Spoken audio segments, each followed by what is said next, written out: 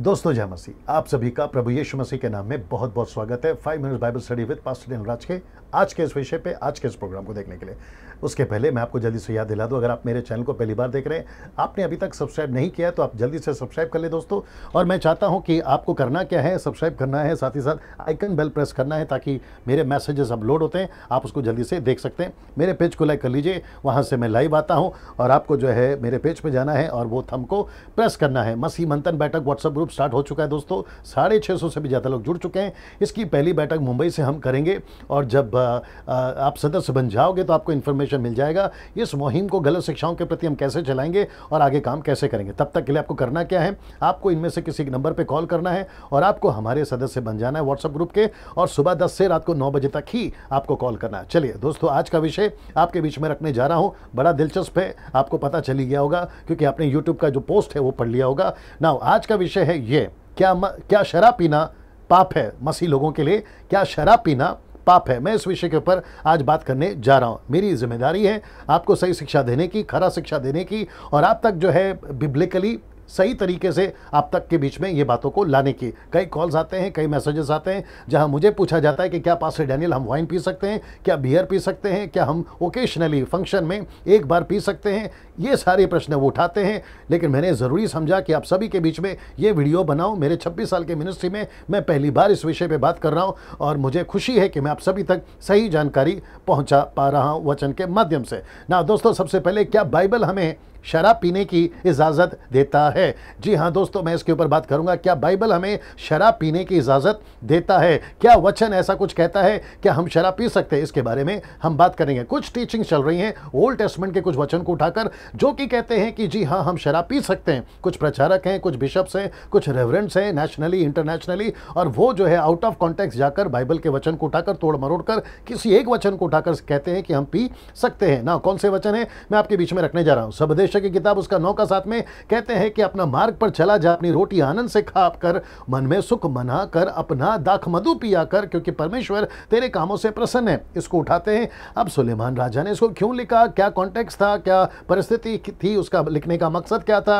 वो किसको लिख रहा था? कम से कम ये साबित तो हो जाता था कि वो आपके लिए और मेरे लिए नहीं लिख रहा है। बाइबल के अंदर बहुत सारे स्क्रिप्चर्स है। फांसी लेना लिखा हुआ है दो दो शादियाँ करना लिखा है पाँच पाँच शादियाँ करना लिखा है तो क्या हम लोग आज करते बैठे? जी नहीं। तो पढ़ते वक्त में ध्यान देना है किसको लिखा है, कब लिखा है, क्या वो आज हम पर लागू होता है। तो इस वचन का सहारा लेकर कुछ लोग जो हैं, वो अपने दाकरस पीना या शराब पीना उसको लागू करते हैं। भजन संहिता 104 का 14 से 15 सबदेश किताब फिर से तीन का तेरह तक, और फिर वो कहते हैं, ये वचन के वसीले से या सहारा से वो कहते हैं कि हम पी सकते हैं, क्योंकि वचन हमें सपोर्ट करता है। मैंने तो केवल तीन रखा है, और भी बहुत सारे वचनों का सहारा लेते हैं कि कभी कभी पी सकते हैं थोड़ा थोड़ा पी सकते हैं, कई रीजन देते हैं वो पीने के। ना दोस्तों, इसको देखिए कुछ लोग कहते हैं, बियर पी सकते हैं, क्योंकि डॉक्टर ने सलाह दिया है, क्योंकि किडनी में पत्थर है। तो डॉक्टर कहता है कि अगर आप बियर पी लोगे तो आपको जो है पथरी जो है वो निकल जाएगा। कुछ लोग ये भी कहते हैं कि हम रेड वाइन पी सकते हैं, क्योंकि डॉक्टर ने सलाह दी है आपके हेल्थ के लिए, आपका ब्लड के लिए। रेड वाइन पीना अच्छा है और आप जो है रेड वाइन पी सकते हैं। और बाइबल के अंदर से भी एग्ज़ाम्पल उठाते हैं कि आप रेड वाइन पी सकते हैं। अब ये रेड वाइन कहाँ से आया, मुझे नहीं पता। इसमें कितना परसेंटेज अल्कोहल है, मुझे नहीं पता। अब ये कैसे बनता है, आज की तारीख में मुझे नहीं पता। लेकिन जब बाइबल की बात कर रहे हो तो वहाँ पर लिखा है, वो अंगूर का जूस था, प्योरली ग्रेप जूस था। अगर वो ग्रेप जूस था तो मैं इजाज़त देता हूँ, अंगूर का जूस पियो। लेकिन मैं रेड वाइन की इजाज़त नहीं देता, क्योंकि कुछ लोग कहते हैं कि रेड वाइन अंगूर का जूस है। अब उसमें अल्कोहल है, मैं वापस कहता हूँ, बॉटल पे लिखा होता है कितना परसेंट अल्कोहल है। अगर नशा है, अल्कोहल है, आपको मैं साफ़ कहता हूँ, नहीं पीना है। ना इसको देखिए, कुछ सेवक तो ये भी कहते हैं कि थोड़ा थोड़ा पी सकते हैं, चाहे वो दारू हो या वटका हो, कुछ भी हो थोड़ा थोड़ा पी सकते हैं। पूछा गया कैसे? तो वो कहते हैं कि इस वचन के वसीले से, कौन सा? पहला तिमोती पाँच का तेईस में, पौलूस ने तिमोती को कहा था कि भविष्य में केवल जल ही का पीने वाला ना रह, पर अपने पेट और अपने बार बार बीमार होने के कारण। अभी मुझे नहीं पता कि वो बीमार क्यों होता था, हो सकता है पानी का, गलत पानी के चलते, क्योंकि पानी का ज़िक्र है यहाँ पर। अब उसके पास में ऐसी कोई बीमारी थी, उसका नाम है तिमोती। अब ये तिमोती को लिखा है तो तिमोती तक रखिए। आप तक क्यों लेकर आ रहे हैं? मुझ तक क्यों लेकर आ रहे हैं? और दूसरों पर क्यों थोप रहे हो? क्योंकि बाइबल में ऐसी घटना हुई है तो आप जो है पी लिया करो। तो बाइबल के अंदर है, यरिको की दीवार गिरी है। तो क्या तुम जाकर चाइना का वॉल गिरा दोगे? नहीं, सर, ऐसा नहीं कर सकते। इसलिए आपको समझना ज़रूरी है कि क्या लिखा है, किसको लिखा है और ये क्या अब अब लागू हो सकता है। उसका पेट दुखता था तो ये उस तक रहने दीजिए। वो बीमार होता था, उस तक रहने दीजिए। आप उसको उठाकर क्यों ला रहे और अच्छा वो ये भी कहता है कि काम में लाया करो थोड़ा थोड़ा दाकरस काम में लाया। वापस कहता है दाकरस कौन सा है? आपको वीडियो के अंत तक कंफर्म या क्लियर हो जाएगा क्योंकि मैं उसकी भी खुलासा करने जा रहा हूँ। ना, इसको देखिए, लेकिन होल टेस्टमेंट में अगर ऐसे वचन है, कैसे? जैसे पी सकते तो ऐसे भी वचन है जहाँ लिखा है कि पीना पाप है, पीना श्राप है, गलत है। और वहाँ है ये शायद पाँच का बाईस में लिखा है कि हाय उन पर जो दाखमधु पीने वीर, पीने में वीर और मदिरा को तेज बनाने में बहादुर है। मतलब जो पीता है उस पर भी श्राप, जो बनाता है उस पर भी श्राप। अब आप सोच के देखिए। ना इसको देखिए, होशी की किताब उसका चार का ग्यारह। कहता है कि वेश्या गमन और दाख मधु और ताज़ा दाख मधु, ये तीनों बुद्धि को भ्रष्ट कर देती है। तो फिर ऐसा भी तो वचन है। ना इसको देखिए तो इसका मतलब ये हुआ कि यहाँ दो प्रकार का वाइन है। एक है जो मैं आपके बीच में रखने जा रहा हूँ। एक पी सकते हैं, दूसरा नहीं पी सकते हैं। ना इसको देखिए दोस्तों, एक अंगूर का जूस है और दूसरा अंगूर के जूस से अल्कोहल बनता है। अब आपको समझना होगा कि उस वक्त का, देखिए मैं कहाँ की बात कर रहा हूँ? कम से कम चार हज़ार साल पुरानी। यीशु क्या यीशु के जीवन काल में दो हज़ार साल पुरानी। अब आप सोचिए, यहाँ दो तीन डेकेट में ही शहर के नाम बदल रहे हैं।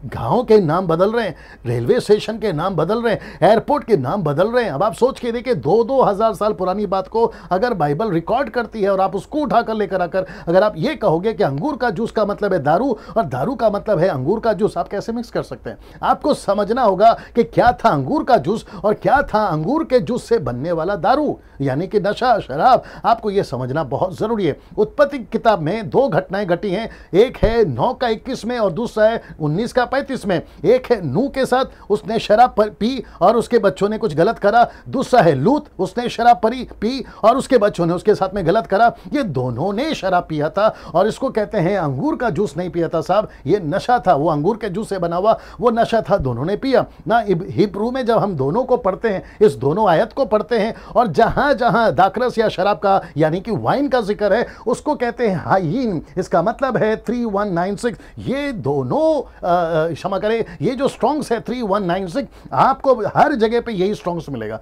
उत्पत्ति से मलाकी तक जब जब आप कोई दाकरस वाइन का ज़िक्र पढ़ोगे तो आपको यही ट्रांसलेशन मिलेगा। ना, दोस्तों, इसको देखिए, इन दोनों का, इन दोनों को बाइबल में वाइन ही लिखा गया। मैंने वापस कह देता हूँ, जैसे मैं आपको यहाँ बता चुका हूँ, जहाँ जहाँ पढ़ोगे, दाकरस आएगा इंग्लिश में वाइन आएगा W I N E wine ना, ये नाम उनको दिया गया। अब दोस्तों, ये आप देख रहे होंगे। जैसे आपको ये दिख रहा है तो आप समझ गए होंगे पासे डैनियल, ये तो मीट है, मटन है, मांस है, और ये रहा तरकारी वेजिटेबल सब्ज़ी, जिसको आप लोग कहते हैं। अब आप सोच रहे होंगे कि मैं आपको ये क्यों दिखा रहा हूँ? मेरे साथ में बने रहे, थोड़ा वक्त लंबा जा रहा है, लेकिन बहुत सारी चीज़ें आप सीखेंगे। ना सबसे पहला ये रहा मांस का टुकड़ा, और ये रहा सब्ज़ी। ना आप इसको जब देखोगे तो आप कहोगे ये सब्ज़ी है। जब आप इसको देखोगे तो आप कहोगे ये मांस है, यानी कि मीट। आप अभी ट्रांसलेशन कर सकते हो। लेकिन आपको पता है, उत्पत्ति एक का उनतीस में परमेश्वर ने इन दोनों को नाम क्या दिया? बड़े ध्यान से सुनेगा। लिखता है, परमेश्वर ने कहा, सुनो, जितने बीज वाले छोटे छोटे पेड़ सारी पृथ्वी पर ऊपर हैं, जितने वृक्ष, में बीज वाले फल होते हैं, वे सब मैंने तुमको दिए हैं। ध्यान से देखना, वे तुम्हारे भोजन के लिए। तो क्या क्या भोजन के लिए हैं? वृक्ष। फिर छोटे छोटे पेड़ के फल, ये सब आपको सब्ज़ी है, फल है, ये सब आपको दिए। ना यहाँ पे एक भी जगह पे आपको ये मीट नहीं दिखेगा। इन सभी जगह पे आपको ये दिखेगा। और इसलिए हिंदी ट्रांसलेशन कहता है, ये भोजन है। लेकिन आप जानना चाहोगे, इंग्लिश में कहता है, इंग्लिश में कहता है to you it shall be for meat इसका मतलब है, ये आपके लिए मीट है। तो इसका मतलब है कि जिसको आप सब्ज़ी कहते हो ट्रांसलेशन में, आपकी ही बाइबल में, उसको लिखा गया इंग्लिश में, किंग जेम वर्जन में कहता है मीट है, मीट। अब आप सोच के देखिए। तो इसका मतलब है ना, इसको देखिए। लेवे व्यवस्था, उसका दो का एक Leviticus chapter two one one कहता है कि जब कोई यवा के लिए अन्न बलि का चढ़ावा चढ़ाना चाहे तो वह मैदा चढ़ाए, उस पर तेल डालकर उसके ऊपर लोभान चढ़ाए। लेकिन इंग्लिश में क्या कहते हैं? And when any will offer a meat offering unto the Lord इसका मतलब है मीट अब आप देखिए, सब्ज़ी को भी मीट ये बीज को भी मीट गेहूँ को भी मीट। तो इसका मतलब है कि दाकरस में आप जब जब पढ़ते हो तो हर एक ट्रांसलेशन वो चाहे अंगूर का जूस हो तो उसको भी ट्रांसलेशन दाकरस है। अगर आप दूसरा कोई पढ़ते हो तो उसको भी ट्रांसलेशन है। लेकिन पढ़ते वक्त में कौन सा चीज़ कहाँ पर आपको ये देखना बहुत ज़रूरी है। ना दोस्तों, आपको ये पता चल गया होगा, इसको कहते हैं भुट्टा। इंग्लिश में कहते हैं कौन? अब आपको पता पता चल गया होगा कि इसको कौन कहते हैं और इसको कहते हैं गेहूँ, और लेकिन इंग्लिश में कहते हैं वीट तो दोनों को अलग अलग नाम है। लेकिन आपको एक छोटा सा झटका देता हूँ ओल्ड टेस्टमेंट में हर दाने को कौन ही कहते थे वो चाहे भुट्टा हो वो चाहे गेहूँ हो वो चाहे भुट्टा हो वो चाहे गेहूँ। और इसको जो है कौन कहते थे? ना दोस्तों योहन्ना की किताब उसका बारह का चौबीस में अगर आप पढ़ोगे यीशु ने क्या कहा पता है? तुम्हें से सच, मैं तुमसे सच सच कहता हूँ कि जब तक गेहूँ का दाना तो इसका मतलब है गेहूँ का बात हो रहा है। लेकिन आपको पता है इंग्लिश में क्या लिखा है? गेहूँ नहीं लिखा है। इंग्लिश में लिखा है कौन? सीरियस? कौन? तो इसका मतलब है ये है कौन? ये है कौन? भुट्टा? और ये है गेहूँ। तो इसको वीट कहते हैं, उसको कौन कहते हैं? लेकिन जब ट्रांसलेशन हुआ तो हर एक दाने को क्या लिखा गया है? कौन? वैसे ही आपको समझना होगा कि दाकरस, कौन सा दाकरस? आप उसको कैसे इस्तेमाल करते हैं? आप उसको कैसे यूज़ करते हैं? ना ये शब्द को पढ़ लीजिए, ये शब्द को पढ़ लीजिए, कहता है, मैं प्यार करता हूँ। अब जरा शब्द को देखिए, ये जो शब्द है ना, प्यार, जैसे ही आप कहते हैं ना, मैं प्यार करता हूँ, एक ही शब्द है। आपको पूछा जाए आप अपने परिवार से प्यार करते हैं तो आप कहेंगे, जी हाँ मैं अपने परिवार से प्यार करता हूँ। शब्द वही रहेगा, प्यार। फिर कहते हैं, कुत्ते से प्यार करता हूँ। शब्द रहेगा, प्यार। लेकिन जैसे ही आप कहते हो, मैं परमेश्वर से प्यार करता हूँ तो क्या परमेश्वर से प्यार करते वक्त में शब्द चेंज हो जाता है? नहीं। लेकिन यहाँ पर आप कब किसको कैसे इस्तेमाल करोगे, किस तरीके से इस्तेमाल करोगे, वो इंपॉर्टेंट है। शब्द चेंज नहीं होगा, शैली चेंज होगी। मेरे कितने प्रचार में मैं आपको सिखा चुका हूँ, बता चुका हूँ कि सकेस्टिक क्या होता है, व्यंग क्या होता है टॉन्ट क्या होता है, ताना मारना क्या होता है, ये हमें और आपको सीखना बहुत ज़रूरी है। वचन को पढ़ते वक्त में भी हमें ध्यान देना बहुत ज़रूरी है। ना याकूब की किताब, यानी कि James chapter two verse three, आपको पता है यहाँ पर क्या लिखा है? अगर आप हिंदी में पढ़ोगे, जो कि मैंने नहीं डाला है, हिंदी में लिखा है कि जो सुहावने वस्त्र पहनते हैं, लेकिन किंग जेम वर्जन क्या कहता है? मालूम है? गे क्लोथ्स या घे क्लोथिंग तो घे का मतलब आप समझ के होंगे। अब आपको शायद नहीं पता कि 200 साल या 100 साल या कम से कम तीन चार डेकेड से ये जो शब्द है, इसका पूरा का पूरा मतलब ही अलग हो गया है। लेकिन एक वक्त था हिस्ट्री चेक करिएगा पता चल जाएगा। एक वक्त था घे का मतलब होता था प्लेजेंट घे का मतलब होता था सोबर घे का मतलब होता था या, या जब टर्म्स में यूज़ करते थे किसी को अच्छा बोलने के लिए यार तो आज कितना अच्छा दिख रहा है। तो उसको कहते थे घे क्लोथिंग तो इसका मतलब है कोई अगर आता था याकूब की किताब कहता है याद रखो तो वो ये कपड़े पहनकर आता था। लेकिन आजकल क्या बोलते हैं, घे का मतलब पूरा गलत होता है। आप समझ रहे हैं, ज़्यादा डिटेल में नहीं जाऊँगा। लेकिन कुछ शब्द को कैसे यूज़ करते हैं, उस वक्त में कैसे यूज़ करते थे, ये समझना बहुत ज़रूरी है। कहते हैं कि यीशु ने दाकरस बनाया, लेकिन यीशु ने कौन सा दाकरस बनाया? अगर आप ये नहीं समझ रहे हो तो आप उसको दारू बोल दोगे।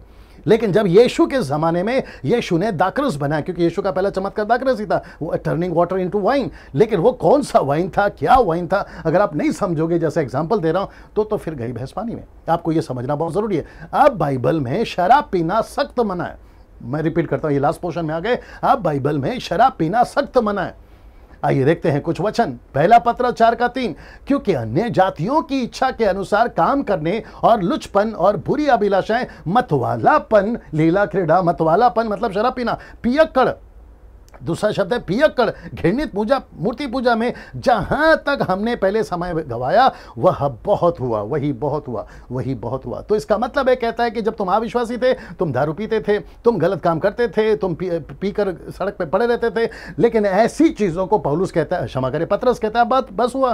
अब नहीं करना है ना, इसको देखिए रोमे किताब, उसका आठ का छह से सात में, शरीर पर मन लगाना तो मृत्यु है, परंतु आत्मा पर मन लगाना जीवन और शांति है, क्योंकि शरीर पर मन लगाना तो तो परमेश्वर से बैर रखना है, क्योंकि क्योंकि ना तो परमेश्वर की व्यवस्था के अधीन है और ना हो सकता है। तो इसका मतलब है, जो शारीरिक जीवन जीता है, वो परमेश्वर उसे बैर करता है और वो शारीरिक व्यक्ति है। याद रखो, वो शारीरिक व्यक्ति है। शराब पीने वाला शारीरिक शारीरिक व्यक्ति है।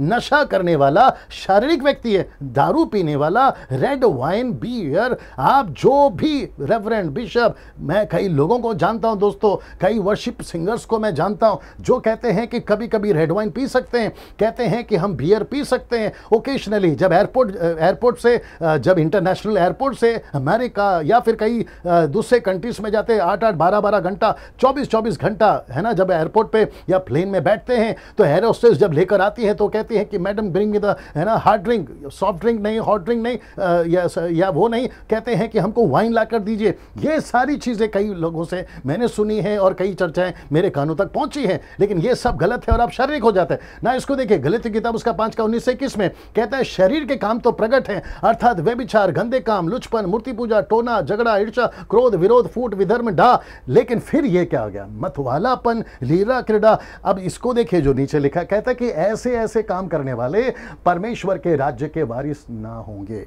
तो इसका मतलब है, जो दारू पिएगा, वो स्वर्ग नहीं जाएगा। जो बियर पिएगा, वो स्वर्ग नहीं जाएगा। जो वाइन पिएगा, वो स्वर्ग नहीं जाएगा। वो रेड हो वाइट हो, येलो मुझे उससे कोई लेना देना नहीं है। आप वचन कहता है, वचन के बाहर नहीं जा सकते दोस्तों। कहता है कि तुम परमेश्वर के वारिस के हकदार नहीं हो। ना दोस्तों, मैं चाहता हूँ कि आपको मैं फिर से याद दिला दूँ कि परमेश्वर नहीं चाहता हम किसी प्रकार का नशा करें। वो बियर हो वाइन हो वटका हो रेड वाइन हो, आप नहीं पी सकते हैं। मैं रिपीट करता हूँ, आप नहीं पी सकते हैं। ये सरासर गलत है। शराब पीना पाप है, पास डैनियल। मैं हज़ार टक्का, लाख टक्का कहूँगा, जी हाँ शराब पीना पाप है। गलत है, आप नहीं कर सकते। दोस्तों, फिर एक सब्जेक्ट के साथ में, कल वापस आपके साथ में रूबरू हूँगा तब तक ले जय मसीह, नमस्ते।